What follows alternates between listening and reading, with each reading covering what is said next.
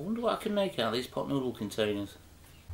So today I thought we'd uh, look at helical antennas. Now normally when people talk about helical antennas you picture something like this. This is a 14 turn helical antenna and uh, gives about 11-12 dB of gain if you believe the calculators that are online but uh, it's too big and cumbersome it's not something I'd carry around with me you can't easily throw it into your backpack and they're actually very difficult to mount on something that's portable you can't hold it like that because uh, you would interfere with the gain along here just by having your hand there so uh, what if we could have something that uh, gives us all the properties of a helical antenna but much smaller and can fit into your backpack. So this is what I've come up with. This is a um, three turn helical antenna and as you'll see later it's uh, doesn't give you that much less performance when you uh, compare it to this 14 turn one. So uh, there are benefits to a helical antenna and uh, let's have a look at some of them now. Now one of the uh, benefits of a helical antenna is its circular polarization. Now normally with most antennas your polarization is either vertical or horizontal. So helical antenna can really benefit you if you live in a built up area where there's a lot of buildings around you. Although buildings are normally made out of brick or concrete, they do contain a lot of metal and can reflect a wireless signal.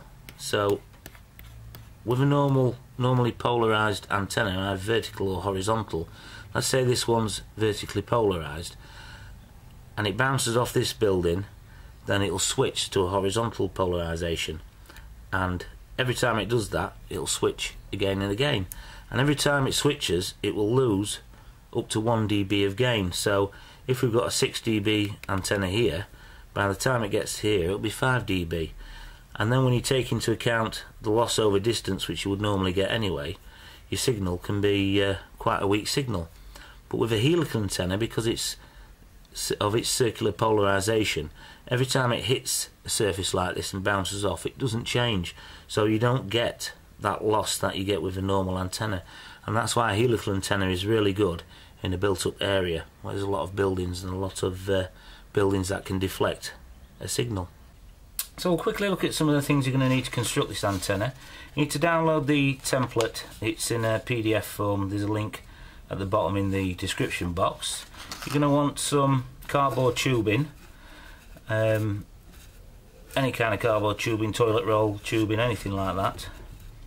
Some wire, now this is galvanised steel wire that's used in fencing, doesn't have to be copper wire, although if you want to use copper wire a good source of that is uh, household electrical cabling in particular the earth cable you normally get quite a thick one from there you want a small piece of tin that you can solder to and we'll have a look at that a bit later what you need that for. You want a BNC connector. You want a small piece of copper wire. That's going to go in the end of the BNC connector. You want uh, some kind of sheet metal. This is actually uh, aluminium to cut the base out. That's going to go with your pot noodle container and that's going to be glued onto there.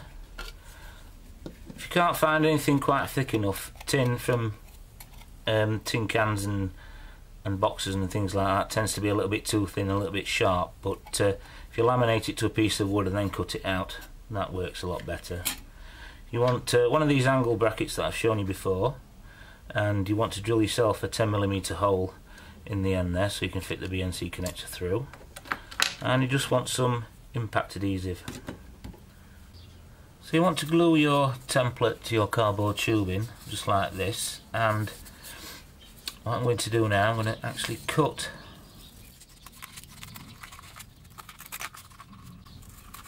cut this out so we can get the correct diameter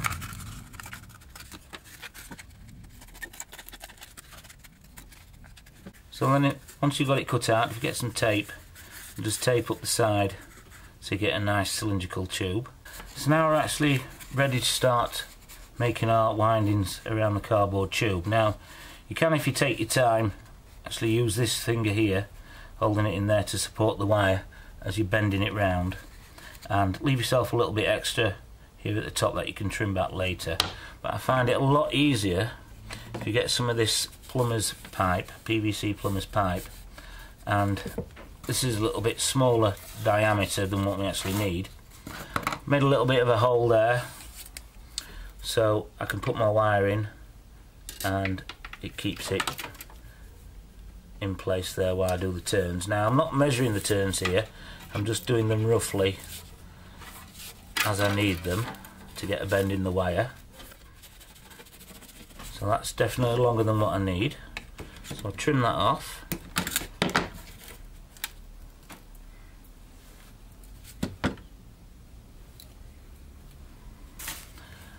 and I can remove this from the pipe like so. So I've removed it from the uh, PVC piping so I've already got the basic shape that I want so it's going to make it a lot easier to put around this cardboard tubing now. So just trim this little hook off here. And what I can do is now feed this into here like so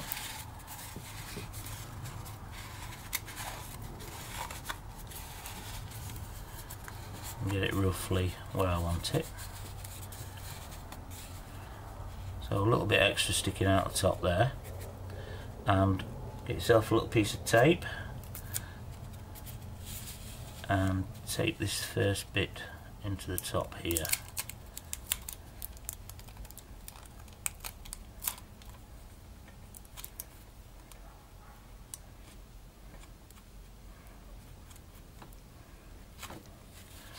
And then work your way around getting your coils, your turns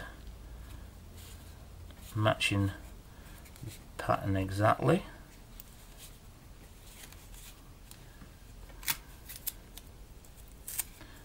Just keep using tape to hold it in place as you work around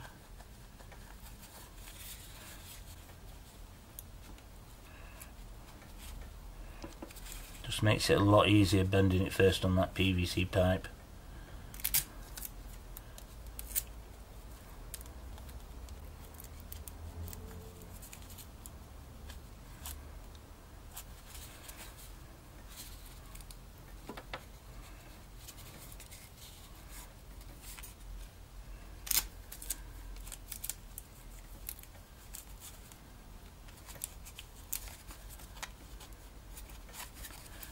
just keep working your way around taping it up until you get down to the bottom. So you've got something that looks a little bit like this. And I've got quite a bit extra at the bottom here. And I've trimmed the top off there.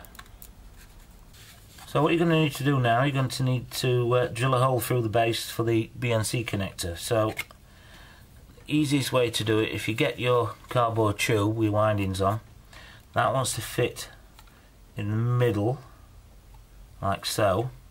You take your BNC connector and it's going to be offset to the side slightly because this bottom winding is going to come out and it's going to we're going to solder it onto the uh, center pin of the BNC connector.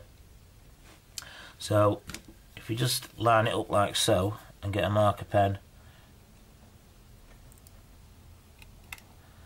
roughly put a hole like that and you drill through an 8mm drill bit through there.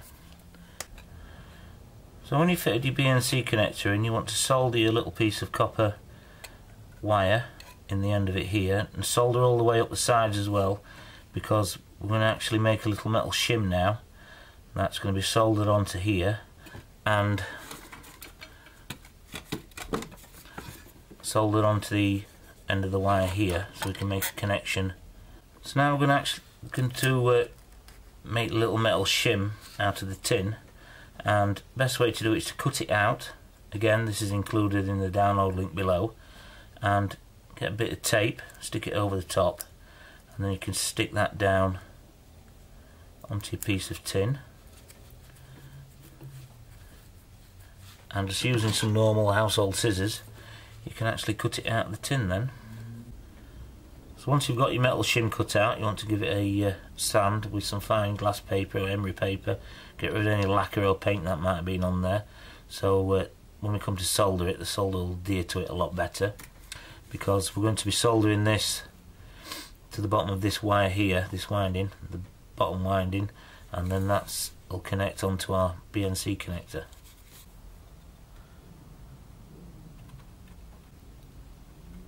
I'm just using normal 30 watt soldering iron. So once we've got the copper shim soldered in place to the bottom winding here, I'm going to take the base and then holding the copper tube in the centre of the base we're going to solder that edge of that shim onto the uh, small piece of copper wire that we've already soldered onto the BNC connector. Then what we'll do, we'll just trim any of this excess away that we don't want when we've got it in place. So before we actually glue this together to the housing, I thought uh, I really want to touch on uh, this metal shim.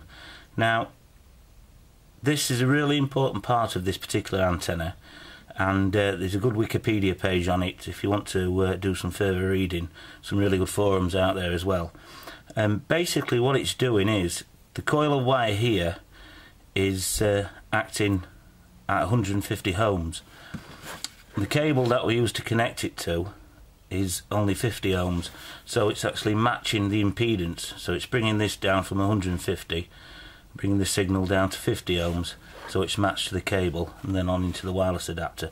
So it is really important that this metal shim is uh, in place otherwise your antenna won't work properly.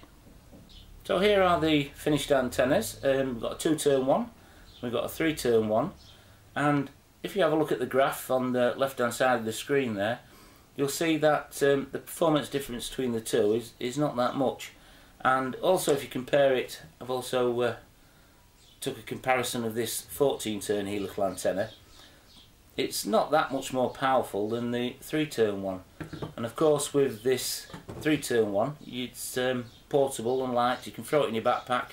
You can uh, hold it in your hand one handed scan around and uh, it's just a lot more portable than uh, your normal helical antenna so I hope you have a go at building this uh, any comments drop them below with questions and I'll uh, get back to you and if you enjoy this video, please give it a big thumbs up. Don't forget to subscribe. And uh, I'll see you next time.